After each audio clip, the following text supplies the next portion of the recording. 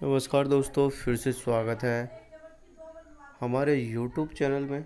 दोस्तों, आज हम इस वीडियो में बात करने वाले हैं उन सभी भाइयों के लिए जो टिकटॉक पर वीडियो बनाते हैं।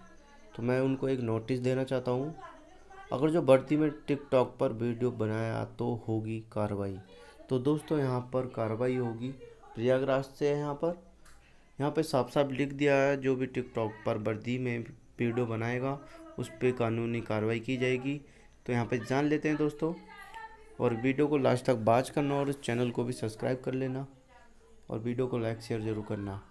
टिकटॉक पर वीडियो बनाने वाले पुलिसकर्मी ज़रा सतर्क हो जाएँ, महिला सिपाही हो या दरोगा।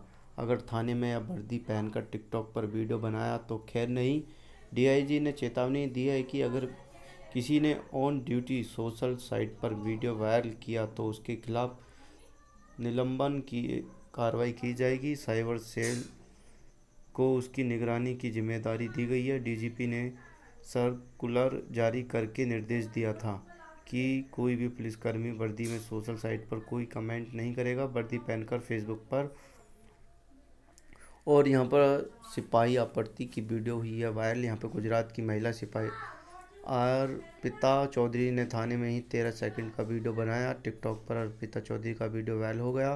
देखते ही देखते लाखों लोगों ने वीडियो देखा, मामला पुलिस अफसरों तक पहुँचा तो महिला सिपाही को तत्काल निलंबित कर दिया गया यहाँ पर और व्हाट्सएप पर फ़ोटो या वीडियो वायरल नहीं करेगा। असलाहत लेकर, फ़ोटो लेकर लेने पर भी रोक लगाने की बात थी, लेकिन इससे इतर सिपाहियों और दरोगा अत्याधुनिक असलाहों के साथ अपनी फ़ोटो सोशल साइट पर वायरल करते हैं। तो दोस्तों, यहाँ पर अगर जो है ऐसी कोई अश्लील चढ़ते हैं टिकटॉक पर या वीगो पर या किसी भी ऐप पर तो उस पर तुरंत कार्रवाई की जाएगी। यह जानकारी पसंद आई तो वीडियो को लाइक, शेयर करना, मिलता है अगली वीडियो के साथ, फिर से नमस्कार।